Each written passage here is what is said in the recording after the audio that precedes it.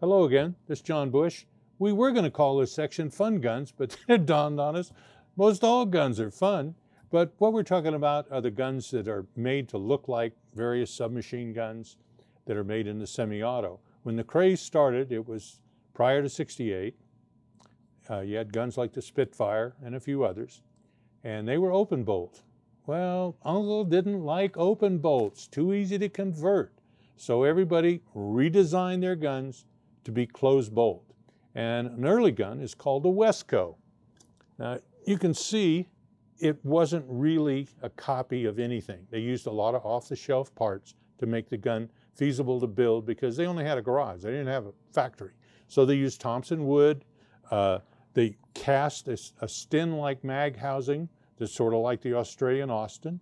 Uh, interesting feature, they did have the recoil spring is up in the front area, unlike most of the guns have the spring behind the bolt. The spring you can see through the cocking slot is actually for what's called the hammer. Once the bolt closed, the sear actually released that block, went forward, and it struck the firing pin. There weren't a lot of these guns made. The manual is more common than the gun ever was uh, because when they made the print run, they had to print a certain number of copies to get a decent price. So you'll actually see the Wesco manual. It's a small manual, about four by four inches, yellow cover. You'll find those at the gun shows even today, even though the guns just are not around. Now, that gun is in nine millimeter. So now we're gonna look at a 45. Now, this is called the Commando Volunteer. Two styles. This is the plastic lower, which used a Thompson mag. The earlier one had a metal aluminum type cast housing that used a grease gun mag. The reason they changed, because early on, grease gun mags were dirt cheap. And then they came out with the Mac and other guns that utilized it. So in order to keep the gun competitive, they made a plastic lower that accepted the Thompson mag. Thompson mag in many ways is a better mag, double column, double feed versus double column single feed, but that required a feed ramp. And what generally goes wrong with these guns is that feed ramp was made out of a black plastic, yeah, plastic. Later, the replacement ones were made out of a polymer. Now you're going to say, ain't polymer plastic? Well, it is, but you know, marketing terms, we got polymer now, and when I was a kid, we had plastic. And those are made out of high molecular weight polymer. Now that sounds even better, but it's slippery, and the rounds feed really well, and a lot of these guns that are out there with bad feed ramps, you put the new feed ramp in, and they're suddenly brand new again and work great because that new polymer is slick. Now, one gun you probably have seen is the Sterling. Now, we did a course, armor's course on the full auto. Uh, this basically looks just like a regular Sterling. Obviously, the muzzle sticks out quite a bit further because it's got to be a 16-inch barrel, and it's closed bolt.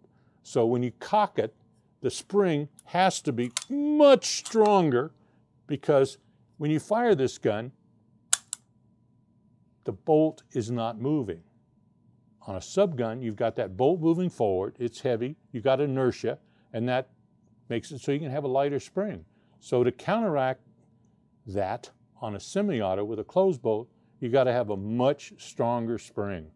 I mean, that's the only problem. The guns work great, they're fun, uh, they're not real expensive, and they're available, and parts are available.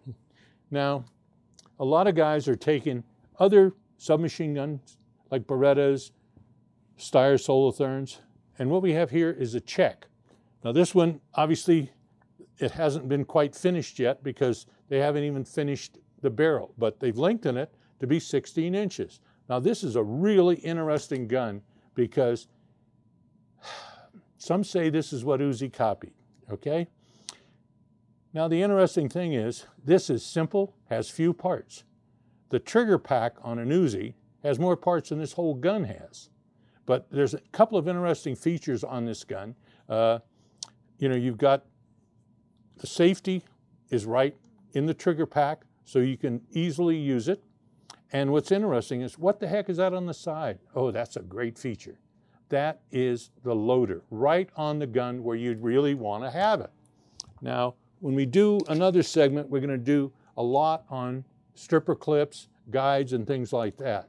Now, on this gun, I'm only putting four rounds, but normally it'd be 10. Put the stripper clip in, the magazine goes right on. Oh, that's quick, that's nice, I like that. But because we got guns here, I'm gonna unload this mag just to be on the safe side. But there's only a few guns that have a, a guide like this to load the mags. This gun, the Steyr Solothurn, is about it. You know, they load right on the gun, which is a really great feature. And they're, they're fun and they're legal.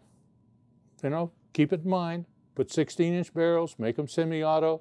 You can take any of these nine millimeter sub guns and make a really fun gun. And again, I guess all guns are fun, but sometimes there's funner. And these are it. And hope to see you next time. This is John Bush saying goodbye.